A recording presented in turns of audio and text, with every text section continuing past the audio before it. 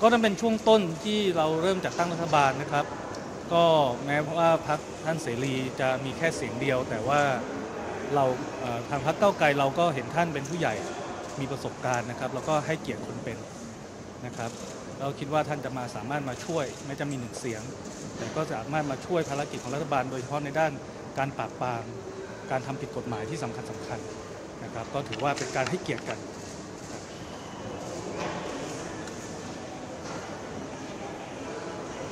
ตอนนี้เนี่ย อันนี้ขึ้นอยู่กับ ผมคิดว่าขึ้นอยู่กับการพูดคุยกันครับ